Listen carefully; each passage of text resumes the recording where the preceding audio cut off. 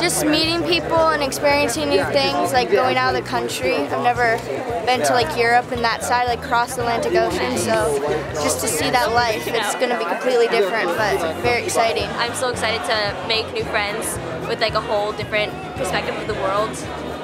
I'm, that's what I'm probably most excited about. I feel like we've been preparing a lot, but I still don't feel prepared. Um, I think at some point you just have to let go.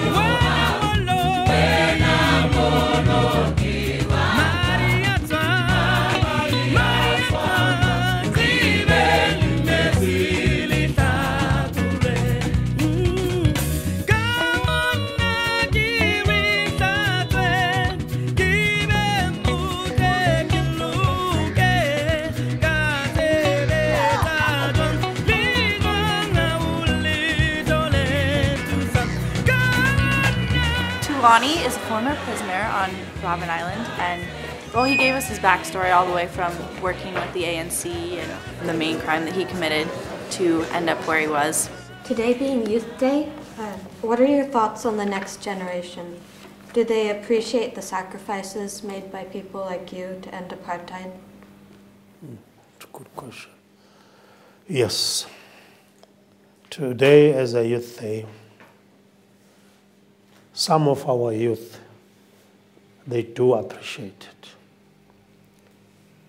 And they through the knowledge they received from school, from going around, getting more knowledge about their, where we come from and where we are today. But what is critical, we don't want, we don't, we don't want to teach them hatred. We don't want that. We want them to understand where we will come from, so where we are, and what is their role.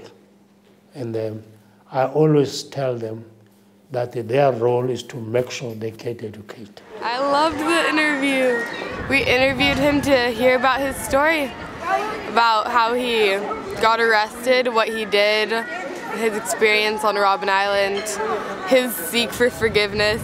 That forgiveness it need to start from me. I must forgive myself so that I can able to forgive the other person. So I work through myself. You still work, must work on you. You must tell yourself that your life is not ending. Your life is endless you forgive yourself, then you'll be able to forgive another person. He made you understand what it was like, and the fact that he was willing to open up to us and be so vulnerable, it, it was not only impressive, but inspiring in a way.